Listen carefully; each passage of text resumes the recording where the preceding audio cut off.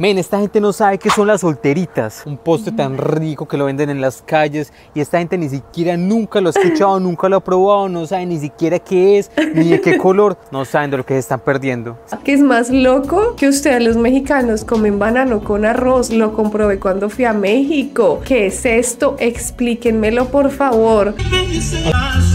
Amochito, ya llegamos. Mini falda, hasta la espalda, súbete la Les voy. ¡Ay, esta canción me encanta! Un buen colombiano dice. Cállate tú. No. No, cállate la jeta. ¿Qué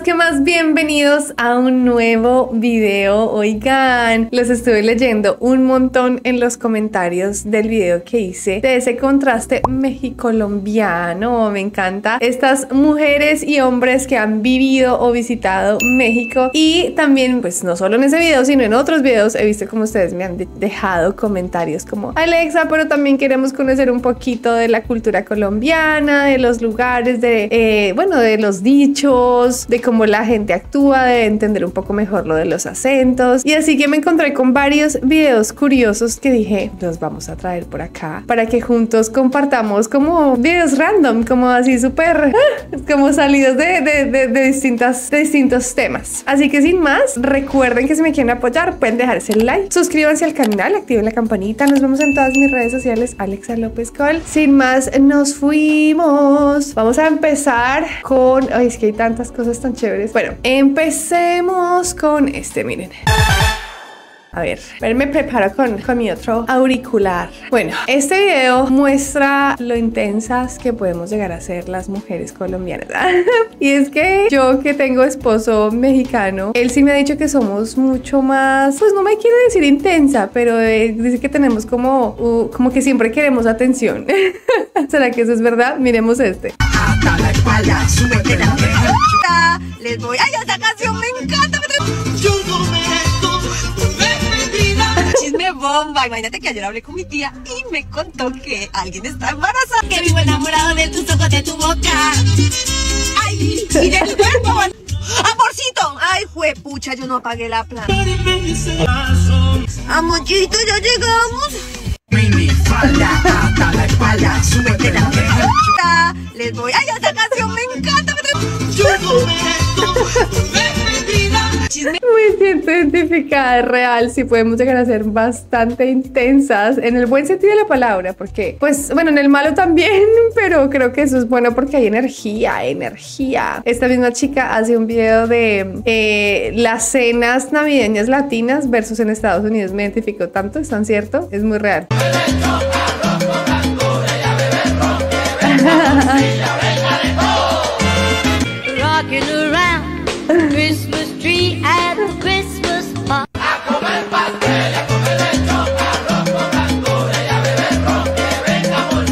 Yo no sé si a ustedes les pasa igual, pero yo recuerdo mucho que en Colombia uno se deja la mejor pinta para esos días. La mejor pinta es el outfit, la ropa. Yo recuerdo que uno, bueno, ahí como podía humildemente siempre trataba de que por lo menos estrenarse algo eh, en diciembre y en estas fechas navideñas. Y eh, pues uno está muy acostumbrado siempre a estar súper bien arreglado esas fechas. Y acá no, acá la Navidad se vive de una manera como más casera, están en pijama, ven películas, eh, juegan de estos jueguitos de mesa. O sea, es como que un ambiente súper distinto y creo que eso nos pasa no solo a los colombianos, sino a todos los latinos, como ese contraste cultural que me parece muy curioso. Miren este otro chico, él es colombiano, pero va a hablar un poco de ese contraste que inclusive dentro de las mismas áreas de Colombia a veces son difíciles de entender. Por ejemplo, en México hay muchos estados, hay muchos acentos, hay mucha cultura, mucha comida, que estoy segura de que pues es casi imposible que todos se conozcan entre las distintas zonas. Así que veamos este video. Rolos y paisas. Parece es que yo nunca pensé que entre los bogotanos y los paisas hay tantas diferencias culturales. Y es que yo pensé que habían cosas prácticamente que eran del común y corriente de los colombianos, que eran como patrimonio nacional. Y estando aquí en Australia me di cuenta que no es así. Y les voy a enumerar cuatro cosas que les va a parecer muy extrañas. Men, esta gente no sabe qué son las solteritas. Un postre tan rico que lo venden en las calles.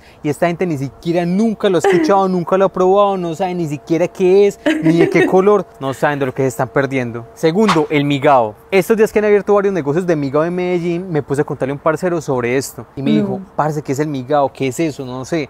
Yo dije, fue pucha, esta gente es de otro planeta, esta gente no es de mi país. Antes de que se ofendan, obviamente sí, solamente es diferentes culturas que yo pensé que era todo en común, que era un revoltijo, pero que no, solamente es de Medallo. Bueno, de Antioquia también. Y es que es más, yo estoy seguro que todo paisa fue levantado y criado a punta de migao. Este yo estoy seguro que la gente de Medellín no se les va a creer. Parce, el pastel de pollo. Y sí, yo sé que en Bogotá tienen pastel de pollo, pero es en hojaldre. En Medellín también lo vendemos, también vendemos el pastel de pollo en hojaldre. Pero nuestro pastel más común es el pastel de pollo, pero en masa de empanada, que le da otro sabor, es otra vaina totalmente diferente. Men, y en. Bogotá no saben también lo que es, no saben de qué les estoy hablando. Y ya por último, y para dejar de hablar de comida, parce, la gente en Bogotá no sabe qué es el verbo lolear. Yo lo leo, No. nosotros loleamos, vosotros loleáis. Yo creo que la mayoría de la gente en Medellín sabe qué es lolear, men, y la gente en Bogotá no sabe qué es lolear. Qué cosa más rara, ¿no? Déjenme explicarles un poquito para los que andan perdidos diciendo que, bueno, Colombia geográficamente está dividido por departamentos, a diferencia de México, de Estados Unidos, que está dividido por estados, ¿no? Y en cada departamento pues hay diferentes ciudades, municipios y demás. La capital de Colombia es Bogotá. Yo crecí en Bogotá. Yo llegué a Bogotá con mi mamá cuando yo tenía un año de nacida, pero nací en Santander. Entonces los bogotanos tienen el acento que yo tengo. Mis costumbres y mucho de mi personalidad pues es súper rola, per de Bogotá, pero cabe aclarar que la mayoría de personas colombianas que están aquí en Estados Unidos son de Medellín o también les dicen paisas. Yo sé que los mexicanos le dicen paisas a otros mexicanos, pero en el caso de Colombia no le decimos paisa a cualquier otro colombiano, solamente a los que están o son de Medellín. Entonces a eso nos referimos, a los que tienen el acento como este muchacho que está hablando o el acento típico de las novelas colombianas, el de hola mi amor, ¿cómo estás? Entonces mucha gente cree que ese es el único acento en Colombia, pero pues hay muchos acentos. Con los acentos y las distintas zonas también vienen distintas comidas, eh, distintas celebraciones, diferentes maneras de hacer las cosas. Bueno, en fin, eso que le está mencionando, honestamente, yo conozco Medellín, sí, no tanto como para saber todo esto, pero es muy curioso porque aunque no, no lo quiera uno aceptar, si hay un cierto nivel de rivalidad interna. Es como cuando la gente de afuera le llama chilangos a los de la Ciudad de México, que son los que como que vinían de otros lugares y llegaron a la Ciudad de México, entonces siempre había como, como ese raye eh, cultural entre los paisas y los bogotanos y los costeños y como que se arman grupos. Yo pienso que, que sí es algo real porque culturalmente hay ciertas cosas distintas, pero creo que a la vez uno por el simple hecho de ser colombiano pues trata bien o mal de apoyarse sea donde sea que esté. Entonces esto que le estaba diciendo son como, ¿qué? ¿Cómo se puede decir? Como botanitas le llamarían los mexicanos, como unas onces le llamamos en Colombia, esas cositas que uno puede comer. Por ejemplo, esto que él nombraba aquí de, de ¿cómo fue que dijo que se llamaba? que ya ni- ah, mire, eso del migado, no tengo ni idea qué es. Vamos, ah, mire, él mostró una foto de lo del famoso, pero la busco por acá, lo del famoso migado, que me parece muy chistoso. No, nunca, ay, mire que sí. Esperen, les pongo esta, mire. Ay, ay, ay, ay, perdónenme la vida, que me fui para donde no era. Ah, miren ya. ¿Migado? ¿Qué? Ah, es un desayuno, pero la foto que él mostró era como un chocolate con galleta. Así que, miren, miren, estas son las imágenes del famoso migado. Ah, bueno, listo. Ya sabemos más o menos que si ven, es que uno a veces ni del mismo país sabe. Eh, y cositas así, como también en, en Bogotá, como también los países nos hablan muchas cosas de Bogotá. Como por ejemplo una changua. En, en Bogotá se come un caldo de leche que yo le he contado a la gente y dicen, no, no puede ser, porque tiene leche y huevo. Es este que ustedes ven aquí en la foto. Es delicioso, de verdad. Yo sé que se ve muy raro, pero es muy rico. Entonces son como esas cositas que te contraste. Veamos otro. A ver, aquí hay una colombiana y su esposo que parece ser, creo que, no sé, estadounidense. Y escuchen, escuchen cómo le dice lo que debería saber de los colombianos. Dice, ¿por qué me estás mirando? Un colombiano dice, ¿Por qué me miras, sapo? Sapo. Ah, es, es, al- es alemán. Intentando sacar el rolo de adentro. Rolo les dicen las personas de Bogotá. Ah, sí, Apo. ¿Por qué me miras, Apo? bueno, otra oportunidad. Un colombiano Otra dice, oportunidad. oye Aaron, te huelen mal las axilas. Un colombiano dice, Oye, tienes una chucha, ve y te bañas. Me. Tienes una chocha, échate limón. La niña sí resulta más colombiana. Y es que, claro, en el contraste de la, de la charladita con mi mexicano, me pasa que a veces decimos palabras y les como, ¿qué es eso? Por ejemplo, la chucha le decimos nosotros al olor feo de la axila, creo que ustedes le llaman, le chilla a la ardila, a la ardilla. y del mal olor de los pies le decimos pecueca. Como le dirán ustedes los mexicanos al mal olor de los pies, te huelen las patas, creo. no, no sé, no, no me acuerdo, creo que no. Es que hay ciertas cosas que no. Pero bueno, va a ser un video específico de esas palabras entre México y Colombia que se encontraron. Un colombiano no dice, eh, ¿te puedes callar, por favor? Un buen colombiano dice, Cállate tú. No. No, cállate la jeta. La niña sí sabe el resto. un colombiano no dice, ¿por qué me estás mirando? Un Y le falta decirle otra grosería al final. Siempre tienen que haber muchas groserías al final, ¿ok? A ver, aquí está Maluma con la bandera de México y de Colombia.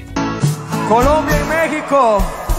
Ahora tengo un culo inédito que se lleva todos los méritos. Está conmigo porque quiere. Tú estabas por la de crédito. Bueno, yo voy a decir que yo personalmente mm, de Maluma no soy la super fan del mundo. Esta canción nunca la había escuchado. Y yo sí soy de la era del viejo reggaetón. Ah, ya soné muy viejita.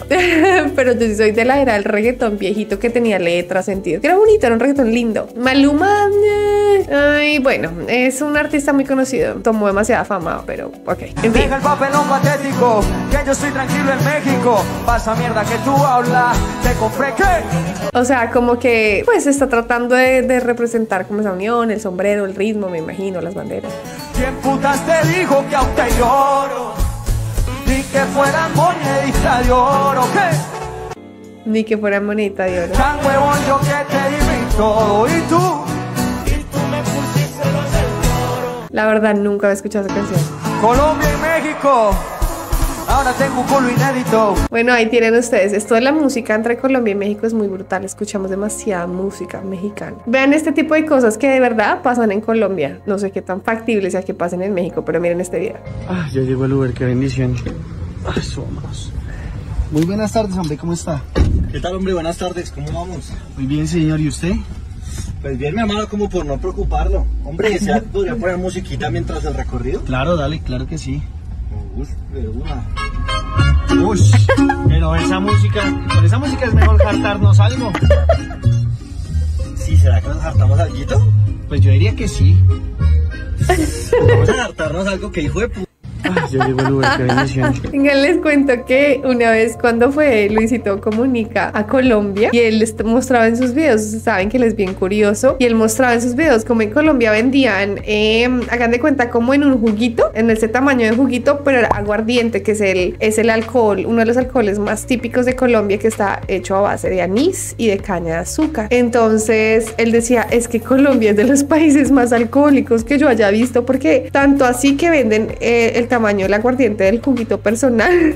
o sea, uno va a la tienda y en vez de comprarse el jugo, eh, ah, pues el aguardientito, ¿no? Entonces creo que eso es muy, muy, es muy real. O sea, sí, somos una cultura que le entra durísimo al alcohol. Y creo que también eso nos une a los mexicanos, con los mexicanos. Los mexicanos, eh, peor, o sea, más resistencia que tienen. Ay, espérenme un momentito, porque es que la gripa que ya me empezó. Antes que me vaya a escurrir aquí, pero quién sabe qué, mijo. Yo sí decía, dije, "Oh, no les voy a contar que ando así como agripada, pero ya, yo estoy segura que la voz suena rara. Entonces, yo sí creo que también en eso nos parecemos los mexicanos y los colombianos. Entre la, la jartaderita, el traguito, el desorden, la fiesta. Bueno, este otro. Miren, este es muy chistoso. Que me diga una palabra característica en Colombia para festejar. Mijo, usted es la verga, hermano. Usted es la verga, hermano. James, queremos saludarte como te saludan en tu país. Queremos felicitarte, así que debo decirte que usted es la verga, hermano.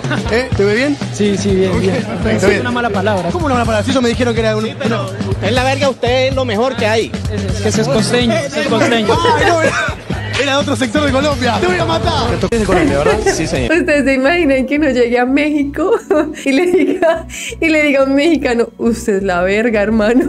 Yo creo que el mexicano se queda, a mí no me trates de verga, a mí no me echas la madre, a mí no sé qué. Y es lo, y ser lo máximo, pero para los costeños, por eso es que le dice él, ah, pero para los costeños. O sea, si ven las variaciones de un lugar a otro, es muy chistoso. Vamos a este otro. Donde le echamos queso al chocolate. ¡Le echamos queso al chocolate! No puede ser. Mucha gente lo encuentra muy loco y muy raro, pero lo hacemos. Pruébenlo. Miel al pollo. Miel al pollo. Eso lo dijo Luisito. No, mentira, no fue Luisito. Eh, lo dijo Franco Escamilla cuando fue a Colombia y que era muy raro que le echábamos miel al pollo. Banano a la sopa. Banano a la sopa, pero escúchense esta, que es más loco que ustedes los mexicanos comen banano con arroz. Lo comprobé cuando fui a México. ¿Qué es esto? Explíquenmelo por favor, porque si banano con sopa raro, pues banano con arroz no se queda atrás, así que me lo explicarán. Es delicioso. Ay, y quieren, esperen, y quieren que les diga, y quieren que les diga una cosa, mis hermanos, mis hermanitos mexicolombianos aman el banano con sopa. Donde le echamos queso al chocolate. Miel al pollo. Banano a la sopa. Remojamos el pancito en bebida. Eso también lo hace. Es caliente. Mira el pancito, ¿eh? Mira ese, pa- eh, mira ese pancito, ve, él es como caleño, ve. Eh, eso también lo hacen ustedes en México y en otros países de Latinoamérica, me imagino. En México le dicen sopear, ¿no? ¡Qué ordinario, pero qué rico! En una hoja de plátano. Hijo, no está mal. Y eso no está mal si él es caleño. Esta hojita de plátano, nosotros a esto le llamamos tamal. Ustedes en México lo más cercano que tienen son el tamal oaxaqueño, que también es en hoja de plátano. Pero lo que ustedes normalmente le llaman tamal, nosotros le llamamos envuelto. Estamos locos, Lucas. Y nos desayunamos comida del día anterior. le llamamos calentado. Eso es ser un buen colombiano.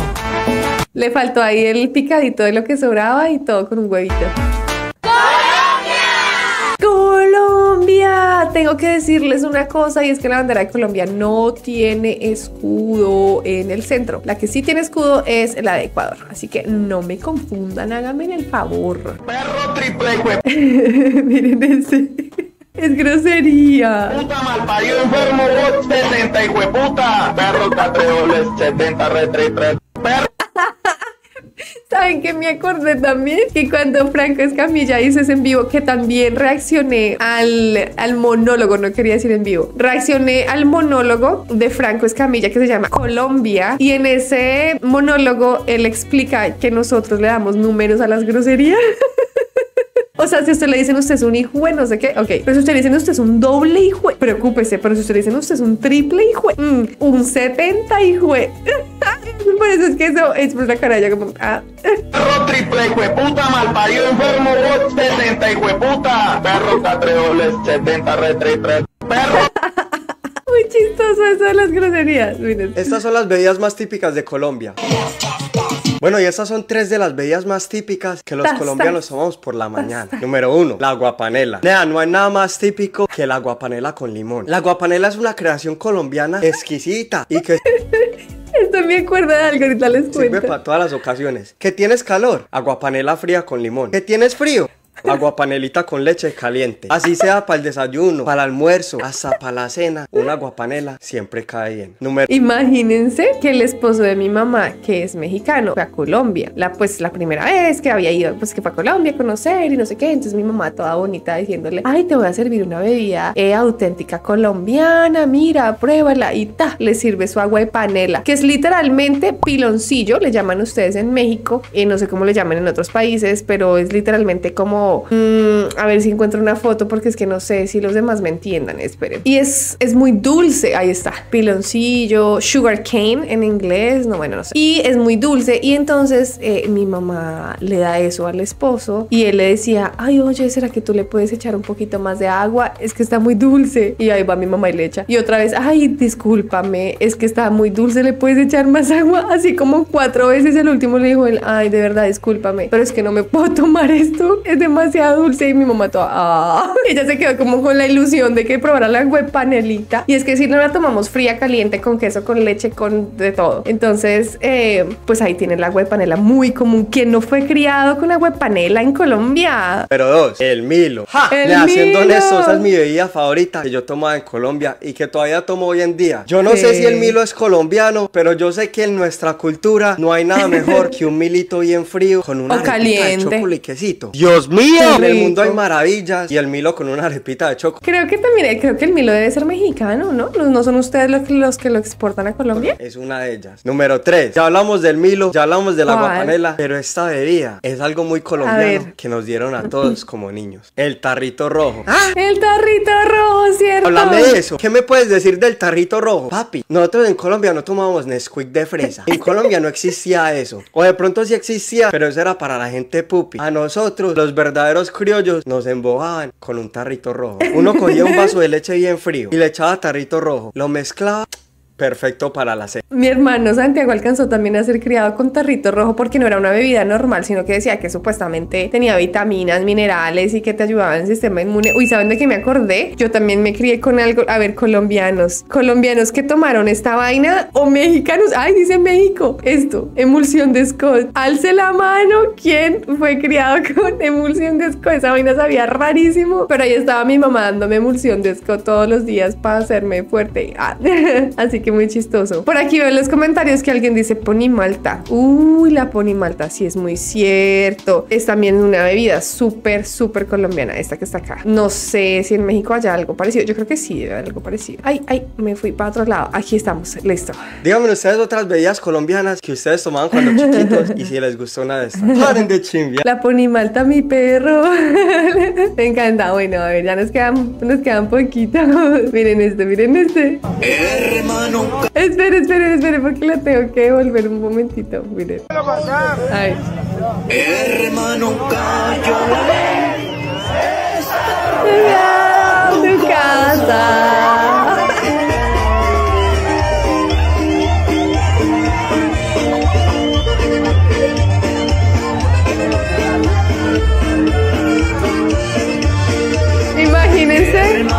Les cuento una cosa. Yo no sé, en México me imagino que no pasa esto, pero en Colombia, cuando no una fiesta, una fiesta pupi, una fiesta fifi, una fiesta de ricos, una fiesta, no, llámenle como quiera, una fiesta elegante, lo que sea, a uno le ponen esa canción, o sea, no esa canción, le ponen música norteña al final, para que se supuestamente para que se termine la fiesta, pero si a los colombianos les encanta, y ahí, pues eso es Colombia, y nos encanta la música norteña ranchera, y la gente la canta grito herido, antes al contrario, súper felices, no les importaba que el policía estuviera ahí para darle, o sea, para la canción.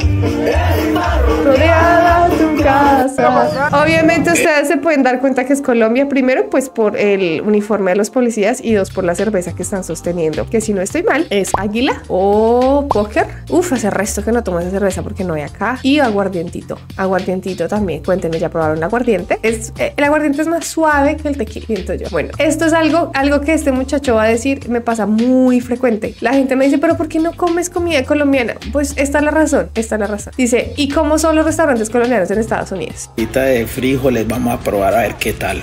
Vamos a ver estos frijolitos. A ver, uy, no, estos frijoles tienen un saborcito raro. No, nada que ver con los de Colombia, definitivamente. Vamos a ver esta arepita. Ay, güey, puta, este maíz que maíz parece sintético, nada que ver. Vamos a pegarle chicharroncito. No, qué chicharrón tan insípido. Esos marranos con que los alimentaron, pues.